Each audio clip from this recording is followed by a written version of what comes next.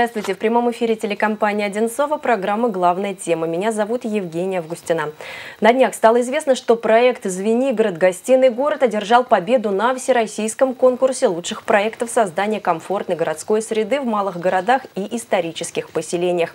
О концепции развития Звенигорода и не только мы сегодня поговорим с Кириллом Александровичем Завраженным, главным архитектором Одинцовского округа, и активисткой Аленой Бабакиной. Здравствуйте. Здравствуйте. Добрый вечер. А я напоминаю, что мы работаем в прямом эфире. Свои вопросы гостям студии вы можете задать по телефону 8 495 508 86 84.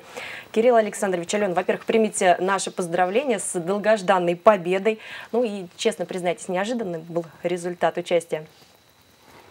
Победа была, да, как всегда в конкурсе ждешь, с одной стороны, выигрыша, с другой тоже боишься, что конкуренты могут обойти, и тебе не хватит, э, скажем так, финала места. Поэтому двойственное было чувство, но самое главное, вот мы с Аленой сейчас обсуждали, что верить в то, что мы создали, это нужно людям. Алена, как э, жители отнеслись к победе? А, ну, Звенигород – это уникальная территория, это город а, с большой культурной значимостью.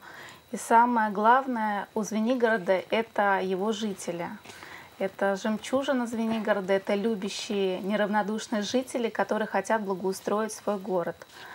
А, в этом конкурсе мы участвуем уже третий год подряд – и сплотилась большая команда. Вот мы обязательно об этом поговорим. Но, наверное, все-таки телезрителям лучше поближе познакомиться с проектом. Я предлагаю им посмотреть ролик, который был размещен в социальных сетях.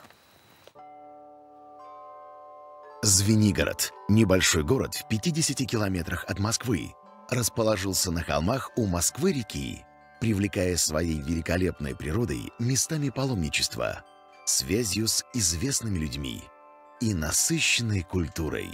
Новое строительство меняет профиль города, и это неприятная реальность. Однако в центре Звенигорода сохранилась уникальная атмосфера уездного города – Тихо, уютно, зелено, множество памятников истории, каменные и деревянные купеческие дома. В городе регулярно проходят спортивные и культурные мероприятия. Жители хотят изменить город к лучшему, каждый по-своему и все вместе. Споры продолжались два месяца. На встречах и в сети интернет жители центра и окраины договорились. Наш маршрут начинается с Манежа. Этот памятник архитектуры на реставрации. В 2021 году в нем откроется новое здание музея. Неподалеку два центра местной культурной и интеллектуальной жизни, библиотека и дом детского творчества. Далее Почтовая улица, тихая окраина города 19 столетия. Улица полна памятниками истории и архитектуры, и мы хотим ее заново открыть для жителей города и его гостей. По почтовой мы придем в обновленный городской парк, благоустроенный, озелененный, место, где каждый может найти отдых по душе. Немного в пути через Малиновый овраг, и мы в сердце древнего Звенигорода, в крепости Городок, рядом с Успенским собором XIV века. Мы, звенигородцы, делаем этот проект для себя и для вас. И даже Чехов с Толстым участвуют в обсуждении. Присоединяйся и ты.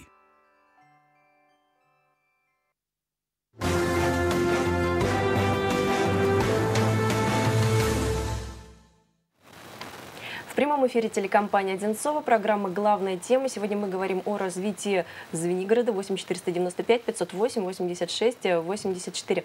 Ален, вы уже сказали, что путь к победе был долгим, три года. Вот эти три года вы участвовали с этим проектом или проекты были разные? Нет, проекты каждый год были разные. А, в предыдущем году а, мы выходили с проектом «Набережная», а, и в 2018 году мы выходили с проектом «Сквер» по улице Московской. Но всегда чего-то не хватало. Не хватало чуть-чуть, чтобы выиграть. В этом году все получилось. Во-первых, была большая вовлеченность жителей. Разными способами их вовлекали. Вовлекали и бизнес, и а, э, э, сообщество, и многодетных матерей, и представителей муниципальных учреждений, а, журналистов. А, было 16 очных встреч. Такого, конечно, не было еще у нас, когда мы встречались постоянно, каждую неделю, и этого уже не хватало нам. Также, когда случилась пандемия, а, мы перешли в новый формат общения. Это через Skype все общались и мы не расставались, наверное, в течение трех месяцев. Обсуждали все, очень бурно обсуждали, очень бурно выбирали территорию. Кирилл Александрович, по вашему да, профессиональному мнению, что в этот раз решало, э, сыграло решающую роль? Почему вот в этот раз победа наконец досталась? Я добавлю, конечно, к словам Алены то, что увлеченность жителей, конечно, а, была большая. К слову отметить, мы проанализировав э, предыдущие два участия команды Звенигорода, мы поняли, какие были слабые стороны. Поэтому мы решили привлечь э, профессионалов э, и команду координаторов, консультантов, которые считали экономику, делали социокультурное программирование, то бишь работа с населением, выявление мнения, формирование мнения, Э, акцентирование на общественных каких-то задачах, проблемах э, местности и определение тенденций будущего. Э, также мы привлекли профессиональную команду архитекторов, архитектурное бюро «Базис», которая уже зарекомендовала себя положительным опытом вовлечения в финал по другим проектам того же конкурса. Я думаю, что все это вовлечение жителей, а, подготовка проекта профессионалами и активное участие, несмотря на пандемию, которая действительно разорвала а, коммуникацию. И в итоге сказалось на урезании бюджета всего проекта. Это коснулось всех сфер, как вы знаете, в том числе и нашего проекта. Это вызвало большое, конечно, разочарование жителей, потому что по сути, пришлось, знаете, вот это как у царя Давида, там, рубите ребенка, да, то есть какую половину выбрать. Вот, это было очень такой драматичной точкой движения нашего проекта. А в целом, я думаю, благодаря всему тому, что вот я сейчас перечислил, мы одержали победу. И самое главное, нам, конечно, нам, нам была поддержка со стороны Андрея Рубича Иванова, губернатор, который подписал этот конкурс, выдавая его на федеральный уровень. И министр благоустройства Михаил Хайкин тоже поддерживал всячески методологически, подсказывая что-то. Мы сейчас посмотрели на те территории, которые да, вошли в этот проект. Почему выбрали именно их? На самом деле территории, а, которые нужно развивать в центре Звенигорода, гораздо больше. Это было связано с тем, что мы должны были определить а, по нескольким критериям. Во-первых, а, мы уже примерно предполагали, какая сумма бюджета может быть. Обратным отчетом э, считали, сколько стоит благоустройство на эту территорию. И как сообщающие сосуды, вот эту вот э, перетекаемую площадь, мы ее гоняли по всему историческому центру. Но прежде всего, наверное, мы руководствовались тем, что мы хотели создать не просто статичное а, место да, в городе или его отреставрировать или благоустроить, а мы хотели дать динамику. И динамика в городе – это прежде всего, как двигаются люди. У нас есть как минимум две целевых аудитории. Это, а, собственно, сами жители Звенигорода и гости. И мы определили магниты притяжения, как вот в ролике было заявлено. Мы хотели вот это место, этот маршрут благоустроить. То есть таким образом, чтобы туристу показать интересные точки передвижения, откуда логично он может идти и куда он может прийти, что он может по пути увидеть или чем воспользоваться.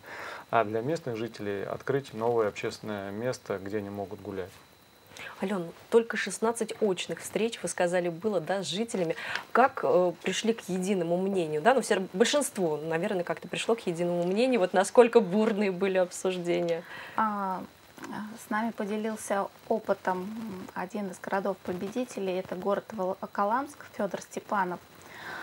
А, он предложил э, принять соучаствующее проектирование жителей, где смогли участвовать э, деятели культуры, общественники, предприниматели, просто жители, выборы территории, наполнение. И мы уже встречались в кафе, э, в разных местах, где обсуждали конкретную территорию, чем ее наполнить, договаривались. Такое, конечно, было впервые вот как раз-таки в этом году. А, мы знакомились, а, узнавали друг друга, очень бурно обсуждали как территорию, так и наполнение. И все-таки пришли, нашли консенсус и выбрали верный путь, большую территорию. Она, конечно, у нас очень большая, а начинается от манежа и заканчивается до городка, и мы надеемся, что нам удастся ее полностью реализовать, что поэтапно мы реализуем все. Э, не так давно, примерно неделю назад, была встреча в Звенигороде, как раз обсуждали тоже проект в городском парке. Я так понимаю, что там возникли споры вокруг малинового оврага. Вот что это за споры, о чем они и чем все завершилось? И ну, завершилось ли? Мы как раз с Аленой присутствовали. Это было доказательство того, что та драма, которая возникла после объявления урезания бюджета, ровно напополам, напополам да, э, она, собственно, до сих пор в сердце звенигородцев.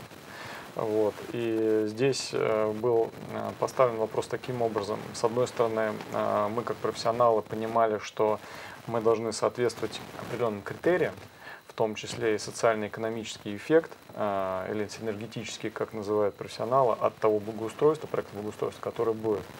И жители, с другой стороны, говорили, что да нет, вы не понимаете, это скрытый потенциал, это сердце э, Звенигорода, это природный комплекс, действительно, между историческим э, началом, да, вот это городище, городок, и существующим историческим центром э, уникальное природное пространство – вот такого нигде практически нет. И жители справедливо нас укоряли в том, что вы поступаете неправильно, перенося акцент и э, формируя заявку именно на той части. Но мы объясняли, что а, да, с точки зрения эмоционального как бы настроя и решения, конечно, вы правы. Но мы тогда проиграем а, по официальным по, скажем так, юридическим пунктам, не соответствуя определенным критериям. Поэтому все-таки э, мы убедили и приняли совместно такое решение, и мы оказались правы. Ален, ну, вам как жительница Звенигорода сейчас задам вопрос. Малиновый овраг, что это за территория? Ну, это прежде всего экологическое пространство. Это где хочется гулять с детьми, где хочется погрузиться а, в территорию, где много деревьев, где поют птички. И как раз-таки это то связывающее пространство между городским парком и городищем Звенигородским. Это та тропа, по которой мы попадаем из центра города а, в уникальное место а, к Успенскому собору. А, раньше все передвигались по Малиновому оврагу, сейчас есть необходимость наведения там порядка. Как раз-таки на встрече с Андреем Робертовичем мы говорили о том, что необходим субботник, необходимо очистить этот, это пространство, то есть мы не останавливаемся, общественники. Мы хотим, чтобы пока что даже еще не начал реализовываться а, конкурс, мы хотим, чтобы начались работы. И Андрей Робертович а, обещал оказать содействие и уже осенью этого года начать работы по вырубке деревьев, по очистке леса и по благоустройству этого пространства. Ну, Кирилл Александрович, я так понимаю, что и до него, да, в рамках этого проекта также очередь дойдет до Малинового оврага.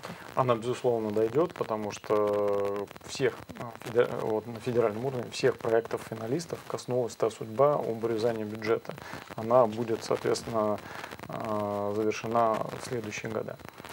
Вот, что я просто добавлю про овраг. А, да, здесь э, мы пошли как раз путем таким, что нужно действительно его приводить в порядок, потому что там есть блок задач, которые касательно безопасности, а, в том числе а, там дождевые стоки, они начинают его вымывать.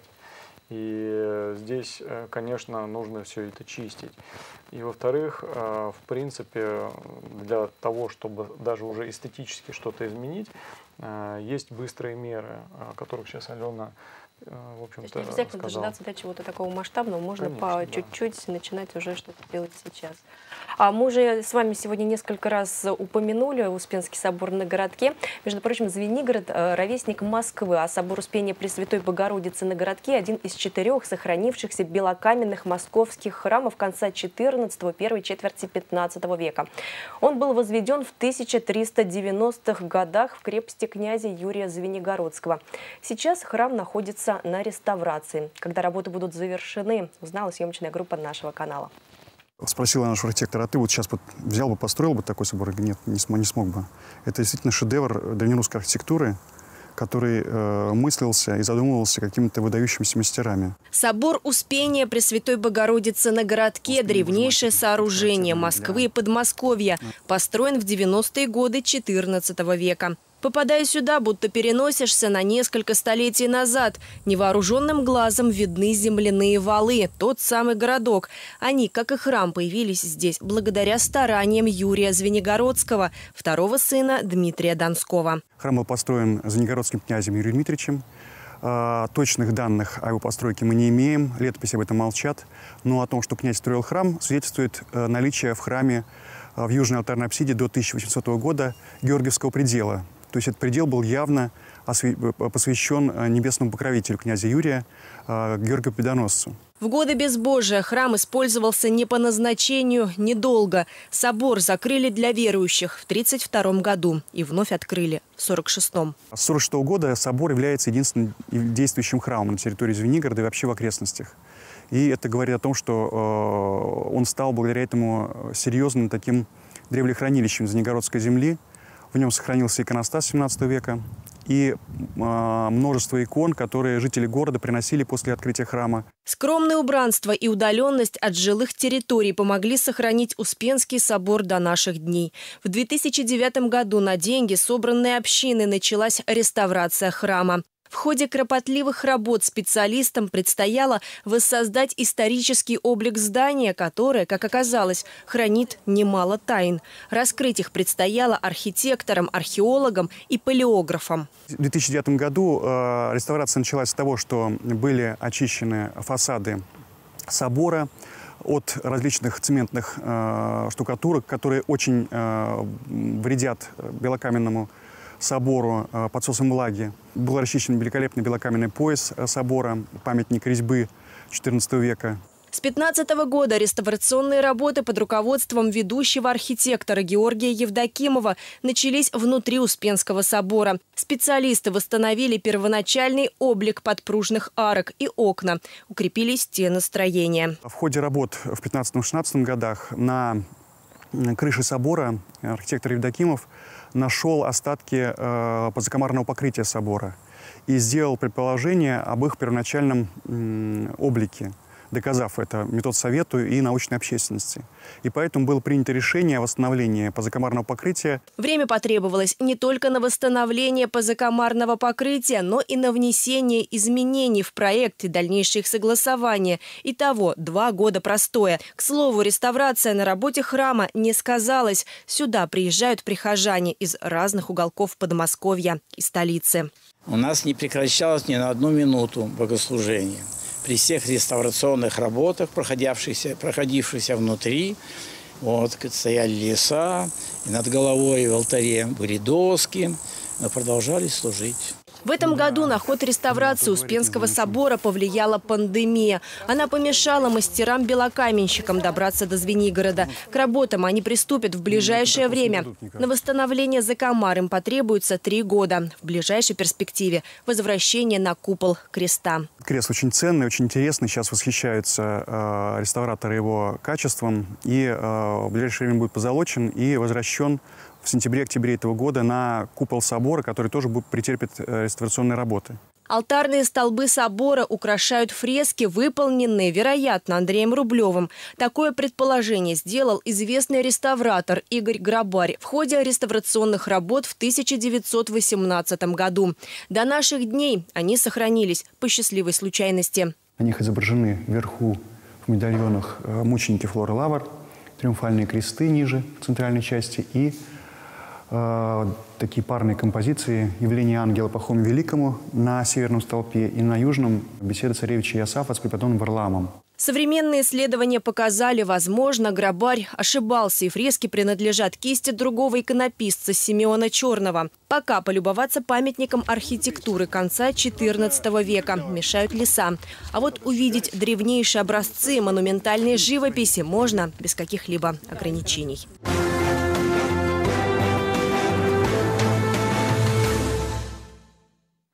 В прямом эфире телекомпании «Одинцова» программа «Главная тема». И сегодня мы говорим о проекте «Звенигород. Гостиный город». Алена, Кирилл Александрович, ну, мы поговорили в общем и целом о проекте, а цель проекта главная какова? Это увеличение туристического потока или не только? Ну, можно я тогда начну? А, прежде всего, а, это надо сказать, э, что наш проект он э, идет под эгидой нацпроекта «Комфортная городская среда». Э, это федеральная программа, э, национальный проект, призванный э, создать более комфортное место пребывания, в том числе и в исторических городах. Напомню, что это не строительство, это работа с благоустройством, с озеленением, с малоархитектурными формами. Это навигация, лавочки, урны, какие-то, скажем так, новые общественные пространства в виде мини-площадей, детских площадок, мест общения. Э, в том числе каких-то, может быть, павильонов. Вот. И, конечно, больше зелени. Э, как мы уже говорили, э, у нас две задачи. Первая – улучшить общественное пространство в Звенигороде, то есть сделать так город, чтобы людям захотелось там больше проводить времени. Ну и, конечно, мы рады видеть в Звенигороде туристов, потому что есть что посмотреть и в самом Звенигороде, и в окрестностях. И есть так называемые туристы ближайшего окружения. Это люди, проживающие в близлежащих поселках, деревнях. И москвичи, которые едут э, в поездку воскресного дня, то есть такие вот туристы. Конечно, нужно тоже благоустраивать, потому что Москва, например, задала уже стандарт благоустройства. И нам нужно соответствовать, но не потерять идентичность. Поэтому в работе было большое время, время уделено работе с историей, с архивами. И вот как раз предыдущий сюжет а, с Дмитрием Седовым, он показал, а, что мы очень большое внимание уделяли этому. И тот же Дмитрий, он был участником нашей команды не только как активный житель, но и как эксперт. Поэтому здесь большое внимание уделялось тому, чтобы, создавая новое, не потерять идентичность старого, то есть оставить Звенигород. Алена, кстати говоря, как местные жители относятся к туристам? Туристов в Звенигороде достаточно много. Вот эти толпы людей, ну, скажем так, посторонних на улицах комфорту местных жителей не мешает, а станет ведь еще больше.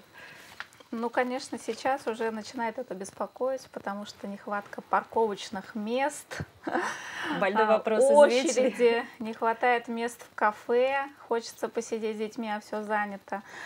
А, это, конечно, вызывает неудобства определенные, поэтому хочется благоустроить наш Звенигород, хочется увеличить количество а, комфортных парковых зон, скверов, городской парк, где можно а, передохнуть с детьми, посидеть в кафе.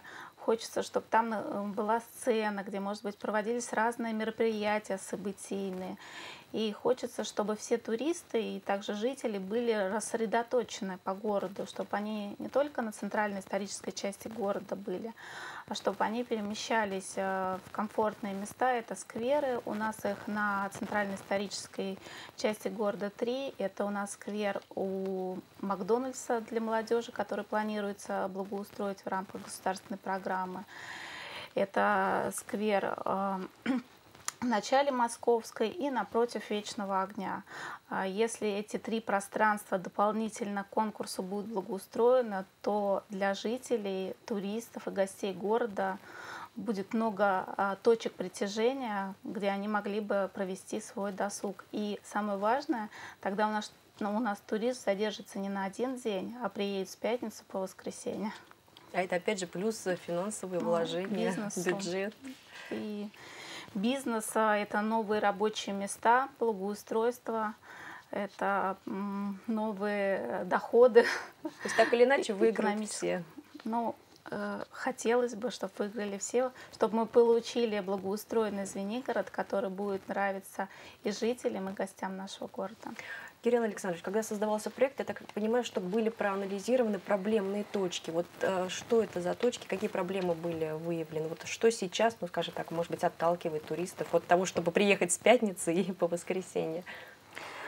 Ну, тут для того, чтобы сказать, что отталкивает туристов, э, я бы не сказал, что совсем отталкивает. Конечно, это сложности, которые э, люди видят или с чем сталкиваются, они типичны да, для исторических городов. Вот мы обсуждали, что парковок да, не хватает.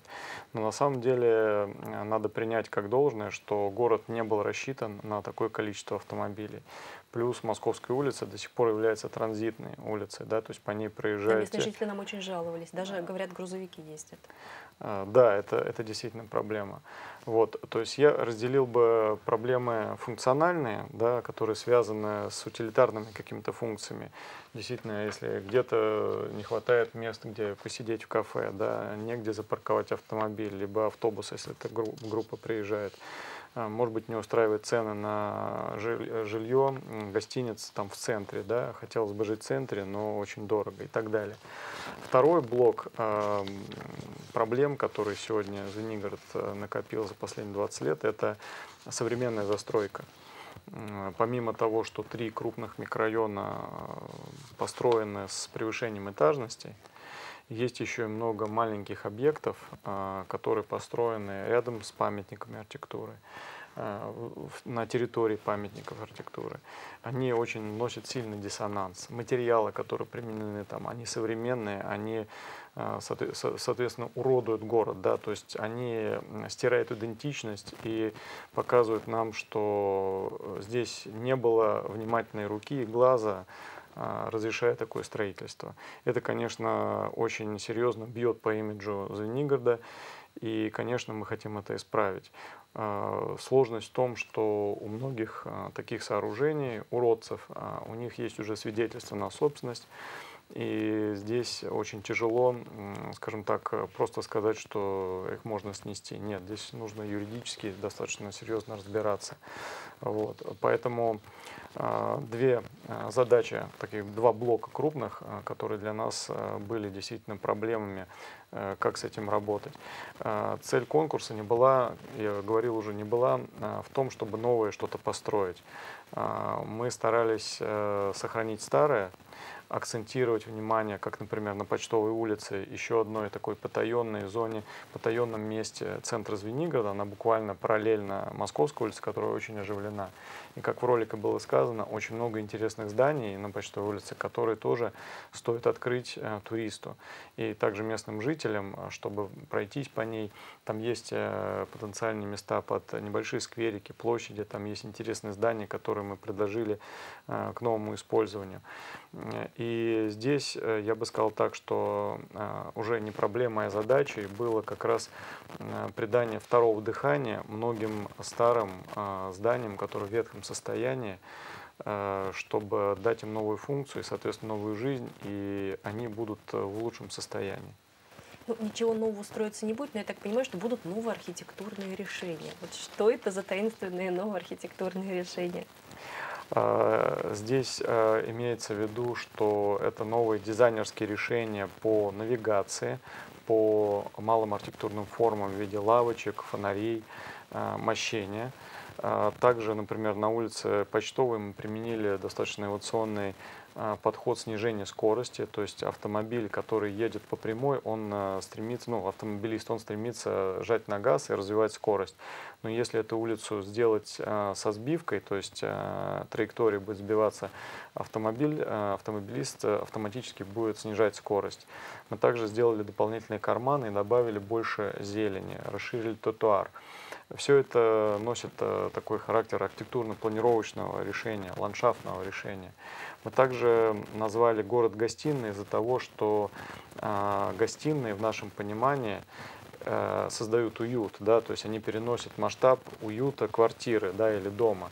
Старое известное слово «гостиная» означает, где рады гостю, где его принимают, и это как раз реверанс в сторону туризма. Э, гостиные могут быть э, как просто открытые площади, например, гостиная – это э, центральный парк, который мы хотим отдать детству, событиям каким-то, проведением праздников, так и, например, какие-то павильоны, связанные с историей писателя Чехова, например. Мы назвали гостиной Чехова, где будет небольшой э, павильон, легкий, нестационарный, где можно будет почитать книгу, выпить чашечку кофе, просто остановиться на маршруте, например, переждать дождь. И все это вот как раз мы назвали в разделе «Новое архитектурное решение». Ну, с нетерпением ждем. Во всяком случае, мы жители Одинцова, которые так или иначе в гости в Звенигород приезжают. Но я думаю, что и жители Звенигорода тоже. Очень ждем. Чтобы наконец все это осуществилось. А, я хочу напомнить телезрителям о том, что 5677 голосов набрал еще один проект «Звенигородский вектор» в ходе народного голосования Всероссийского конкурса по развитию экотуризма. Подробнее о проекте в следующем материале. Долина Москвы-реки между столицей и Звенигородом – единственный в своем роде историко-культурный и природный ансамбль, уникальный портал в прошлое. Впервые концепция Звенигородского вектора была предложена в 2019 году. Ее сформулировал ведущий научный сотрудник сектора археологии Москвы Института археологии РАН профессор Сергей Чернов. Наш э, проект, э, его главная цель – показать э, людям, насколько вот эта территория – в окрестностях Звенигорода, ну, в целом Одинцовский округ, насколько он богат а, природными а, объ... а, природным наследием, культурным, историческим наследием. Подобной а, концентрации вот этих вот ценных а, в самом разном отношении объектов найти в других а, уголках Подмосковья ну, довольно сложно. Всероссийское общество охраны памятников истории и культуры, Дружина охраны природы биофака МГУ и администрация Одинцовского округа отправили проект «Звенигородский вектор» на конкурс по созданию туристско-рекреационных кластеров и развития экотуризма в России. Одинцовский округ уже не первый раз участвует э, в проектах Агентства стратегических инициатив. Буквально в феврале мы участвовали э, в проекте «100 э, городских лидеров. Включи Звенигород» со своей экотропой. И вот сейчас мы вновь э, подали заявку от Одинцовского городского округа проект вошли 18 особо охраняемых природных территорий. Семь из них регионального уровня. Они находятся в ведении Министерства экологии и природопользования Московской области, а остальные 11 местные. Он откроет жителям и гостям Московского региона древние дороги, по которым путешествовали князья и цари, поля Великой битвы и городища Железного века. Одно из ключевых направлений Звенигородского вектора – создание музея под открытым небом, посвященного боям на рубеже обороны Москвы, проходившим под Звенигородом в 1000 1941 году. Цель этого проекта заключается в популяризации темы Великой Отечественной войны в целом, в научном изучении остатков э, военно-фортификационных полевых сооружений на этой территории, поиск неучтенных вот этих воинских сооружений, вот, и изучение, каталогизацию и регистрацию воинских захоронений, существующих и которые еще не выявлены в том числе. Все это в 30 минутах езды от МКАД.